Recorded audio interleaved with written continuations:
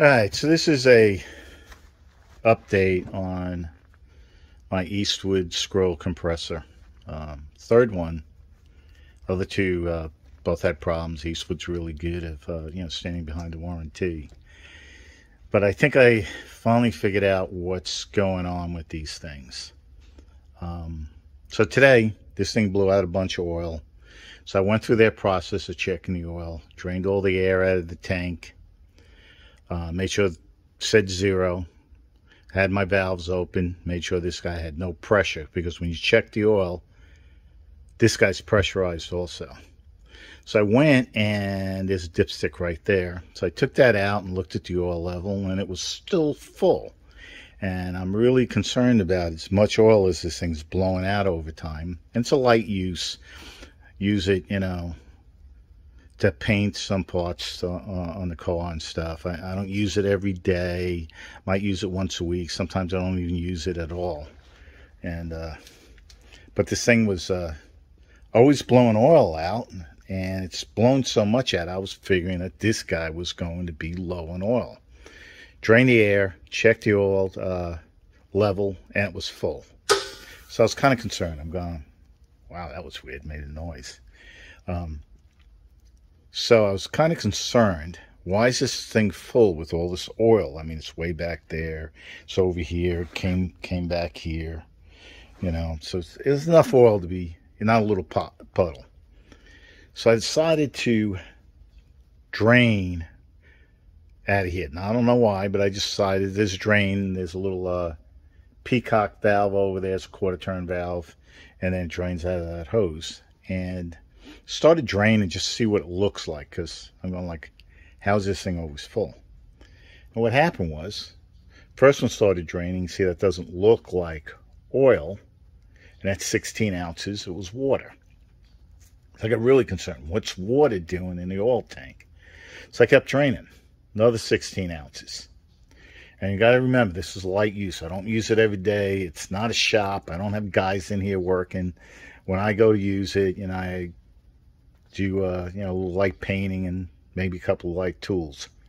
Got to third one, so that's about 40 ounces of water, and I finally hit oil. So I decided to give uh, Eastwood a call, and I got Kelly on the phone, and she started asking me, you know, is am I getting oil coming out of here? And I said, yeah, I've, that's what I've been documenting. And when I first got this in this uh, December, January time frame, first thing it did was blow out oil. So I put in the ticket right away and said, hey. And what they told me, it was normal for these things to blow oil, right? Especially if there's too much oil in there. Well, now I understand what's happening.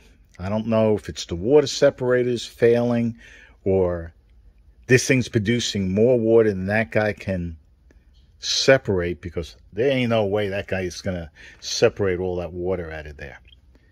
And if it did, that means you got to change that. I would have to, I kind of calculated, I'd have to change that every other month.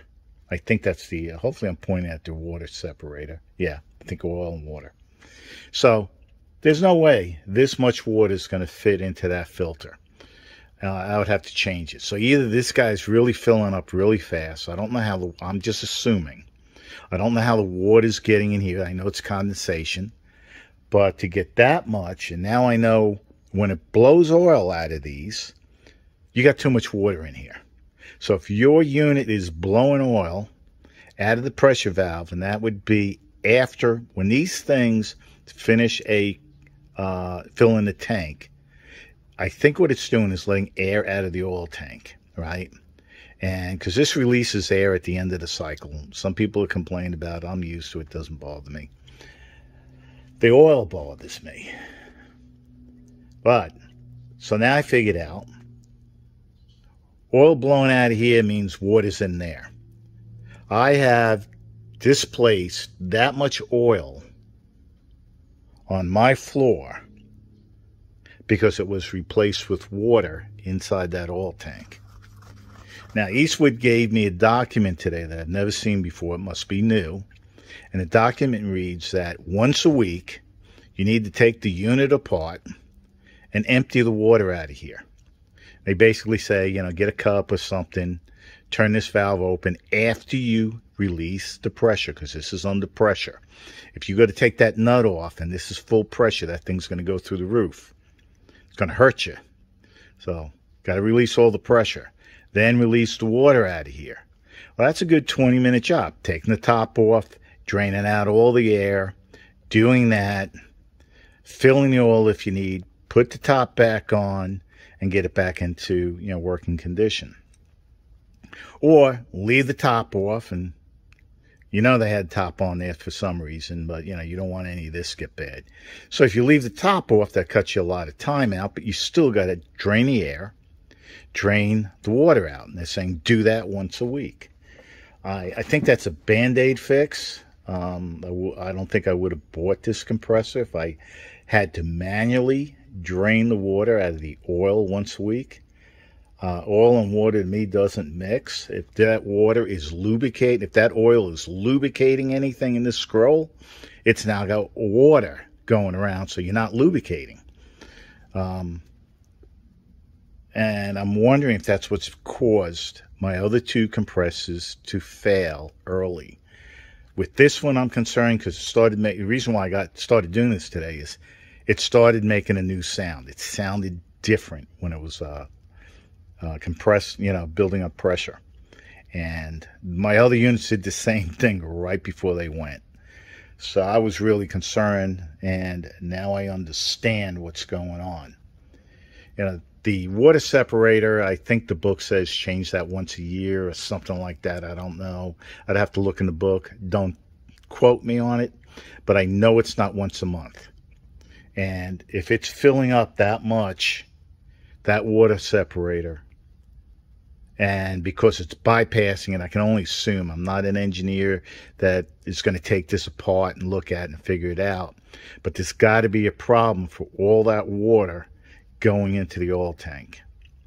Hopefully, Eastwood will come out with a fix.